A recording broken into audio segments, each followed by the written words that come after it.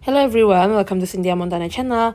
Now I'm gonna talk about ADA or Cardano. So before I started, don't forget to like, comment, and subscribe.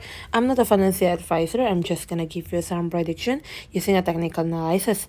So if you don't have any ADA, then you can entry the prices on the pink one side here on the moving average 25 at the 2.2 right? Don't enter right now because it's already a little bit risky and having a correction to close the big gap here the green one here.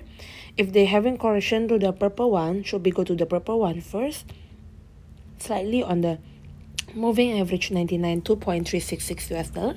And next one is to the moving average 7 on the 2.341 us dollar.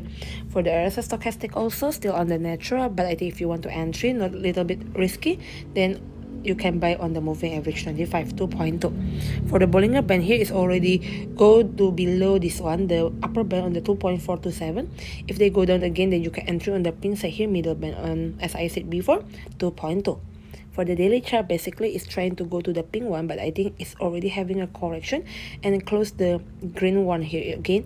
And you can entry slightly if there is any chance for you.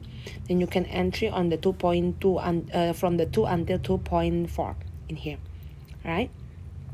So if you want to take in profit i mean like you want to take in profit you can take in profit on the 3 or 2.9 for the moving average here is trying to go to the pink one side here moving average 25 on the 2.501 but if not then it will go down again to the pink one side as to the yellow one here. Moving average 7 on the 2.231 us dollar here right? Thank you everyone for watching this video. Don't forget to like comment and subscribe